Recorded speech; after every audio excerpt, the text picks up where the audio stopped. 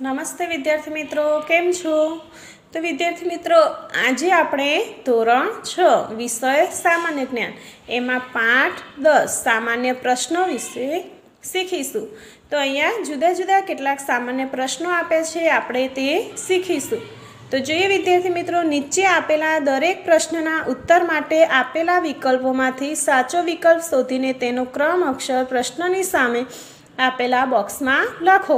તો અહીંયા આપણને પ્રશ્ન આપે છે અને નીચે ચાર એના જવાબ છે. સાચો જવાબ હોય એનો આપણે ઓપ્શન બોક્સમાં લખવાનો છે. તો વિદ્યાર્થી મિત્રો, આપણે જોઈએ પહેલો પ્રશ્ન. જો ઠંડી એ ગરમીનો વિરોધી શબ્દ છે, તો ઉનાળાનો વિરોધી શબ્દ કયો? તો વિદ્યાર્થી મિત્રો, આપણને ખબર પડી જાય ઠંડી એ ગરમીનો વિરોધી શબ્દ. તો ઉનાળાનો કયો આવશે? આ ચારમાંથી શિયાળો. કયો આવશે? વિદ્યાર્થી મિત્રો, શિયાળો. તો એનો ઓપ્શન કયો છે? સી તો આપણે બોક્સમાં લખીશું ઓપ્શન સી પ્રશ્ન બે. કીર્તિ મંદિર કયા નેતાના જન્મસ્થળનું સ્મારક છે? તો વિદ્યાર્થી મિત્રો, શું આવે એમાં? મહાત્મા ગાંધીના. તો એનો ઓપ્શન છે એ આપણે બોક્સમાં લખીશું એ ઓપ્શન ત્રણ. ત્રીજો પ્રશ્ન. રવિશંકર મહારાજનો જીવન મંત્ર શું હતો? તો વિદ્યાર્થી મિત્રો, રવિશંકર મહારાજનો જીવન મંત્ર હતો જાતે ઘસાઈ જવું. તો અહીંયા આપણે જાતે ઘસાઈ જવું એ કયો ઓપ્શન છે? ડી. તો આપણે બોક્સમાં લખીશું ડી ઓપ્શન. પ્રશ્ન ચાર. દુર્જન શબ્દનો વિરોધી વિરોધી શબ્દ કયો છે? તો વિદ્યાર્થી મિત્રો, દુર્જન શબ્દનો વિરોધી શબ્દ શું આવે? દુર્જન એટલે કે ખોટું બોલનાર. હોય છે. એ દુર્જન કહેવાય. ખોટા કાર્યો કરનાર, ખોટું બોલનાર, અને તો એનો વિરોધી શબ્દ શું આવે? સજ્જન. એટલે કે સાચું બોલે, સારા કાર્યો કરે. તો અહીંયા સજ્જનનો કયો ઓપ્શન છે? સી. તો આપણે બોક્સમાં લખીશું ઓપ્શન સી. પાંચ. જ્યાં જ્યાં વસે એક ગુજરાતી, ત્યાં ત્યાં સદાકાળ ગુજરાત. આ પંક્તિ કયા કવિની છે? તો વિદ્યાર્થી મિત્રો, આ પંક્તિ છે ખબરદારની કયા કવિની છે? ખબરદારની તો એનો ઓપ્શન બી છે. આપણે બોક્સમાં લખીશું બી ઓપ્શન પ્રશ્ન છ. ગાંધીજીની આત્મકથાનું નામ શું છે? તો વિદ્યાર્થી મિત્રો, ગાંધીજીની આત્મકથાનું નામ છે સત્યના પ્રયોગો. તો આપણે એનો ઓપ્શન કયો છે અહીંયા? સી આપણે બોક્સમાં લખીશું સી ઓપ્શન પ્રશ્ન સાત. ગુજરાત વિધાનસભામાં ધારાસભ્યોની કુલ સંખ્યા કેટલી છે? તો વિદ્યાર્થી મિત્રો ગુજરાત વિધાનસભામાં ધારાસભ્યોની કુલ સંખ્યા છે એકસો બેસી. તો એનો ઓપ્શન છે બી. આપણે શું લખીશું બોક્સમાં? બી. પ્રશ્ન આઠ. સુરત શહેર કઈ નદીના કિનારે વસેલું છે? તો વિદ્યાર્થી મિત્રો, સુરત શહેર કઈ નદીના કિનારે? તાપી નદીના કિનારે વસેલું છે. તો એનો ઓપ્શન છે ડી આપણે બોક્સમાં લખીશું ડી ઓપ્શન પ્રશ્ન નવ. ગુજરાત રાજ્યની સ્થાપના ક્યારે થઈ હતી? તો વિદ્યાર્થી મિત્રો, ગુજરાત રાજ્યની સ્થાપના એક મે ઓગણીસો સાહીઠમાં થઈ હતી.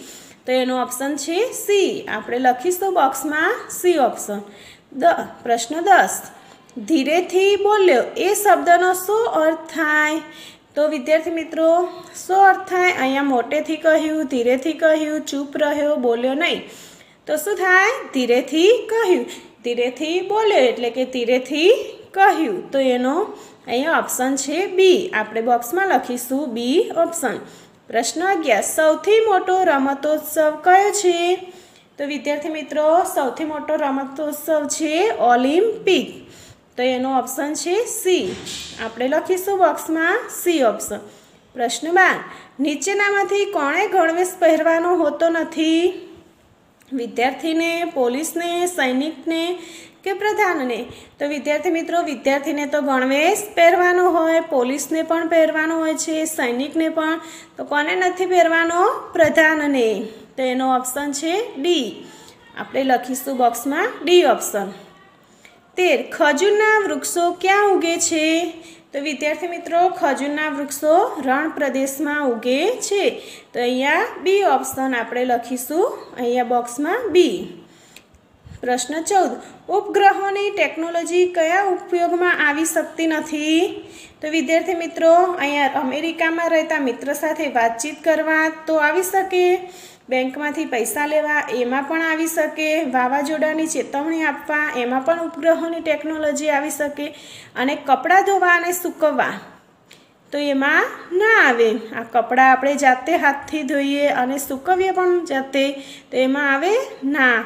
તો એનો ઓપ્શન સી છે. આપણે લખીશું સી. પંદર. દ્વિજ એટલે બે વાર જન્મેલું. આ દ્રષ્ટિએ દ્વિજનો એક અર્થ બ્રાહ્મણ અને બીજો અર્થ પક્ષી થાય છે.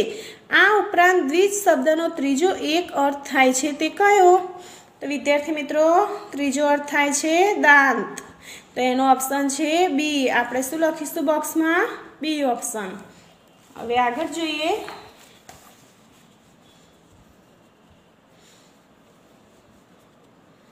વિદ્યાર્થી મિત્રો, તો જુઓ અહીંયા સોળમો પ્રશ્ન. ભારતીયો ઉનાળામાં સુતરાઉ કપડાં પહેરે છે. કારણ કે સુતરાઉ કપડાં. શું કરે સુતરાઉ કપડાં? કેમ ઉનાળામાં આપણે બધા પહેરીએ છીએ? તો શરીર ઠંડુ રાખે છે તો. અહીંયા છે તેઓનું શરીર ઠંડુ રાખે છે. એટલે એનો ઓપ્શન જવાબમાં શું આવે છે? તેઓનું શરીર ઠંડુ રાખે છે. એનો ઓપ્શન છે એ. તો આપણે બોક્સમાં શું લખીશું? એ ઓપ્શન લખીને, વિદ્યાર્થી મિત્રો? હા. તો હવે જોઈએ સત્તરમો પ્રશ્ન. સો ટકાનો પ્રશ્ન રૂઢિપ્રયોગનો શું અર્થ થાય છે. તો વિદ્યાર્થી મિત્રો, અહીંયા આપણને કીધું છે કે સો ટકાનો પ્રશ્ન. રૂઢિપ્રયોગનો શું અર્થ થાય. તો આપણે જોઈએ ઓપ્શન. જે પ્રશ્નના ઉત્તરથી સો રૂપિયા પ્રાપ્ત થાય. ખૂબ જ મહત્ત્વપૂર્ણ અને પ્રાસંગિક પ્રશ્ન. સો રૂપિયાની કિંમતનો પ્રશ્ન, સો રૂપિયા મેળવ્યા બાદ જેનો ઉત્તર આપી શકાય? તો વિદ્યાર્થી મિત્રો, અહીંયા આવશે ખૂબ જ મહત્ત્વપૂર્ણ અને પ્રાસંગિક પ્રશ્ન જવાબમાં. તો એનો ઓપ્શન છે બી. તો આપણે બોક્સમાં શું લખીશું? B option. અઢારમો પ્રશ્ન. સાડા આઠ વાગ્યે ઘડિયાળના બે કાંટા વચ્ચે કેટલા અંશનો ખૂણો બનશે? તો વિદ્યાર્થી મિત્રો સાડા આઠ વાગ્યા હોય ઘડિયાળમાં તો બે કાંટા વચ્ચે કેટલા અંશનો ખૂણો બને? તો તમે જોજો. તો બે કાંટા વચ્ચે પંચોતેર અંશનો ખૂણો બને છે. તો અહીંયા એ ઓપ્શન છે. આપણે બોક્સમાં લખીશું ઓપ્શન એ. ઓગણીસમો પ્રશ્ન. નિમ્નલિખિત હિન્દી સ્વરો મેં સે કોનસા દીર્ઘ સ્વર હે? દીર્ઘ એટલે કે મોટો. કયો મોટો સ્વર? શબ્દ છે. તો વિદ્યાર્થી મિત્રો અહીંયા અ, ઈ, ઉ અને આ. તો આ બધામાં મોટો સ્વર છે આ. તો એનો ઓપ્શન ડી છે. આપણે બોક્સમાં લખીશું ડી ઓપ્શન. વીસ. ત્રીસ મીટર લાંબા વાંસના બે ટુકડા કરતાં પાંચ મિનિટ લાગે છે. સંકેત. આ વાંસના બાર ટુકડા કરવા માગે છે. તો તેમ કરવામાં તેને કેટલો સમય લાગશે? તો વિદ્યાર્થી મિત્રો, અહીંયા કેટલો સમય લાગે છે? પંચાવન મિનિટ. તો એનો ઓપ્શન છે સી આપણે બોક્સમાં લખીશું સી ઓપ્શન. એકવીસ.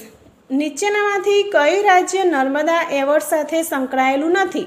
તો નર્મદા એવોર્ડ જે રાજ્યને મળેલા હોય, એમાં કયું રાજ્ય કયા રાજ્યને મળેલું નથી, સંકળાયેલું નથી? તો એમાં આવશે કર્ણાટક રાજ્ય. તો એનો ઓપ્શન છે એ. આપણે બોક્સમાં લખીશું એ ઓપ્શન.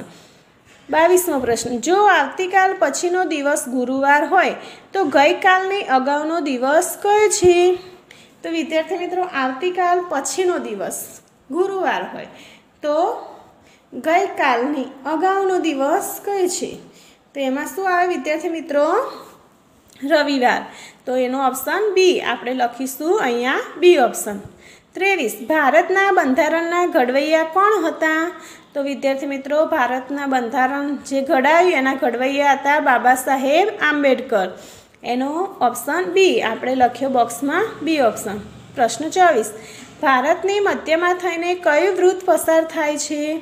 તો વિદ્યાર્થી મિત્રો, ભારતની મધ્યમાં થઈને કર્કવૃત્ત પસાર થાય છે. એનો ઓપ્શન છે એ આપણે બોક્સમાં લખીશું એ ઓપ્શન પચીસ. હિન્દ છોડો ચળવળ કઈ સાલમાં થઈ હતી? તો વિદ્યાર્થી મિત્રો હિન્દ છોડો ચળવળ ઈસવીસન ઓગણીસો બેતાલીસની સાલમાં થઈ હતી. એનો ઓપ્શન છે ડી આપણે લખીશું અહીંયા ડી ઓપ્શન જો અહીંયા ચિત્ર આપેલું છે, તો આ કયા મંદિરનું ચિત્ર છે, વિદ્યાર્થી મિત્રો? કીર્તિ મંદિર. કયા મંદિર છે? કીર્તિ મંદિર. તો વિદ્યાર્થી મિત્રો, અહીંયા આપણો પાઠ દસ પૂરો થયો. તો તમારે વિદ્યાર્થી મિત્રો હોમવર્કમાં પાઠ દસ, દસના જે પ્રશ્નો છે, અહીંયા એ પ્રશ્નો કેટલા? પચીસ પ્રશ્નો છે. તો તમારે હોમવર્કમાં પચીસ પ્રશ્નો લખવાના છે અને એના સાચા જવાબ. તો અહીંયા આ આપણો પાઠ દસ પૂરો થયો વિદ્યાર્થી મિત્રો. તો આવજો વિદ્યાર્થી મિત્રો.